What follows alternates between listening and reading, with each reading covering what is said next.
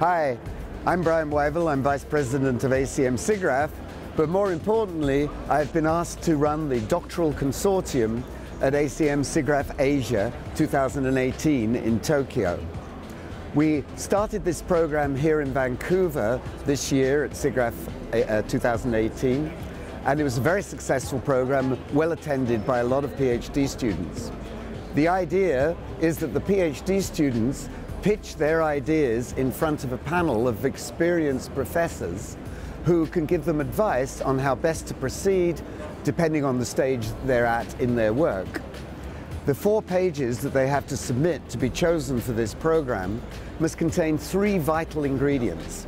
The first one is to outline the problem they're working on and set it in context of the wider picture of computer graphics.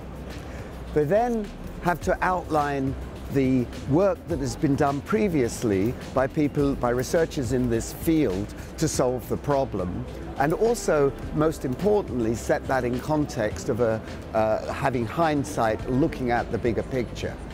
Thirdly, and most importantly, what is the solution that's coming up from the, this thesis that will be a contribution to the research to the world in general?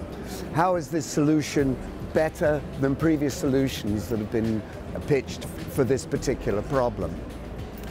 We hope that a lot of PhD students will apply for this. Only six will be chosen, but the idea is that their colleagues, other PhD students, will learn a lot from attending the session.